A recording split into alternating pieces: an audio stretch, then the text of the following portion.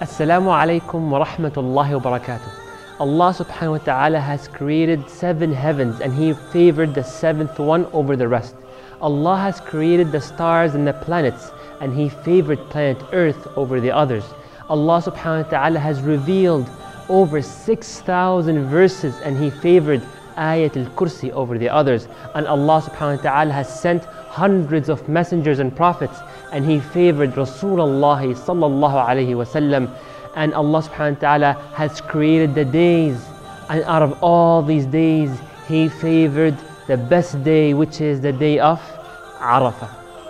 For this reason, a Jewish man went to Umar ibn al-Khattab, may Allah be pleased with him. He told him, Ya Amir al-Mu'mineen, O leader of all the believers, there is a verse in your book which you recite.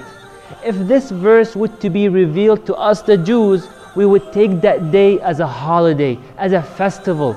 Umar ibn al-Khattab, may Allah be pleased with him, he realized there are over 6,000 verses in the Quran. Which one are you talking about? He told them that verse where Allah says, اليوم أكملت لكم دينكم وأتممت عليكم نعمتي ورضيت لكم الإسلام دينا اليوم أكملت لكم دينكم وأتممت عليكم نعمتي ورضيت لكم الإسلام دينا Today I have perfected your religion, completed my favors upon you, and I have approved and I'm satisfied for Islam to be your religion. Umar Khattab told him, I know exactly when and where was this verse revealed. This verse, which completed the Sharia of Islam, was revealed on the day of Arafah on a Friday. SubhanAllah. Look at the value of Arafah.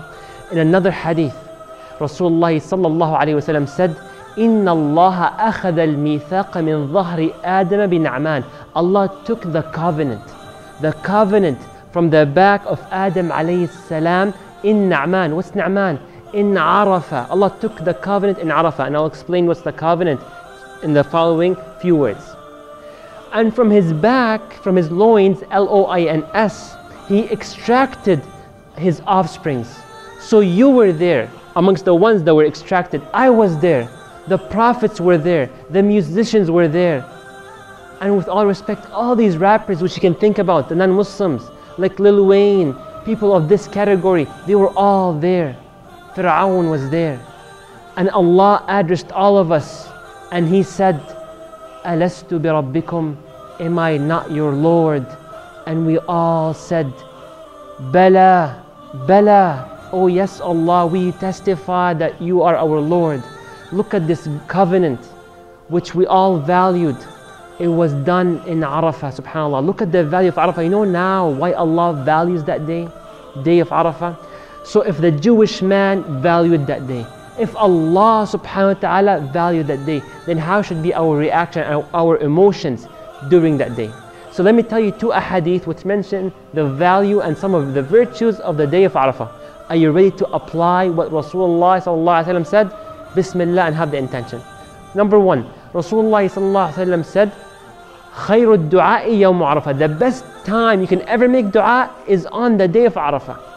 For example, I would tell you if you leave work at 4 o'clock, you will make it to your house without finding any rush hour. So we go right to your house. You can leave at 5, you can leave at 7, at 10. You will make it home, but will not be as fast as if you would leave at 4 o'clock. And Allah would accept your dua anytime. But on the day of Arafah, it's a special day, high speed connection. So prepare your list.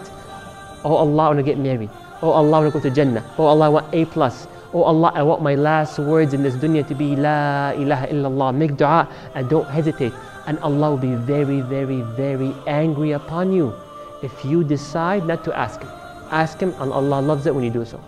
The second hadith, and I ask you by Allah, I ask you by Allah, I ask you by Allah to apply it.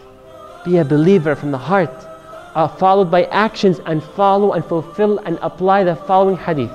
A man went to Rasulullah and he asked him about fasting the day of Arafah. The Prophet told him, يكفر السنة الماضية والسنة القابلة. Fasting the day of Arafah will expiate, erase, eliminate all the sins which you have done in the previous year. Can you imagine how many sins we've done? Wallahi, Thumma wallahi, if my sins would to have a smell, you would never would want to meet me for how stinky I would be. If our sins would have to smell. Allah will forgive all of our sins, not only the previous year, but also the following year. This is an opportunity, and only the wise and the smart ones and the true believers seize that moment and they fast that day. So I ask you by Allah to share this video. Let the whole world know about the beauty of this day. If not this video, put a state, Facebook status, anything which you can do. Jazakumullah khair and don't forget to press, up, press the like button. Jazakumullah khair. Wassalamu alaikum wa barakatuh.